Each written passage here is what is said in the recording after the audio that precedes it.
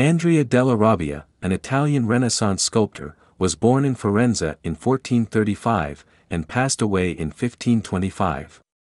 Della Robbia was famous for his work in ceramics, and he was an important figure in the Italian Renaissance art movement. His sculptures were known for their intricate details and vivid colors, and he was able to successfully combine techniques from both sculpture and ceramics to create his unique style. Today, he is considered one of the most important figures in the history of Italian Renaissance art. Della Robbia's influence extended beyond his own work as well. He inspired a number of other artists, and his style had a lasting impact on the world of sculpture and ceramics. His legacy continues to inspire artists today, and his contributions to the art world are still celebrated around the world. Andrea della Robbia was born in Florence as the son of Marco della Robbia and pupil of his uncle Luca della Robbia. He became a master of ceramic glaze and extended its application to various architectural uses.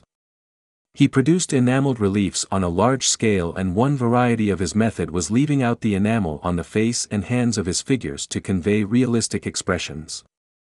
His most remarkable works are the series of reliefs with medallions of the infant Jesus on the Foundling Hospital in Florence. Apart from the Foundling Hospital in Florence, Andrea's works can also be found in Arezzo and Santa Maria in Grado. In Arezzo, there is the retable in the cathedral with God holding the crucified Christ and Saint Donato and San Bernardino kneeling at the sides.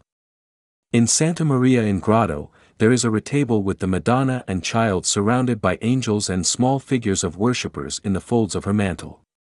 Andrea's late works included the magnificent bust of the protonotary Almadiano, made in 1510 for the Church of San Giovanni de Fiorentini at Viterbo, and a medallion of the Virgin in Glory surrounded by angels, made in 1505 for Pistoia Cathedral.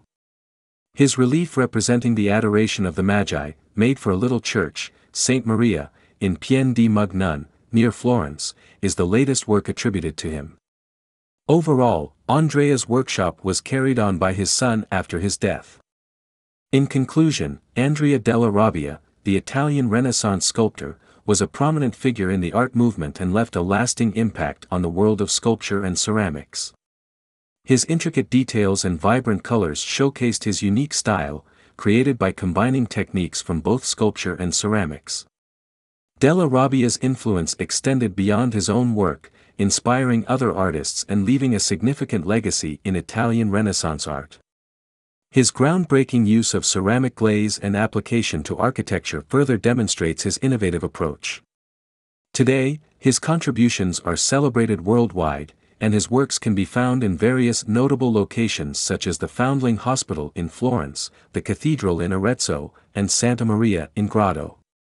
Undoubtedly, Andrea della Robbia's talent and creativity continue to inspire artists to this day.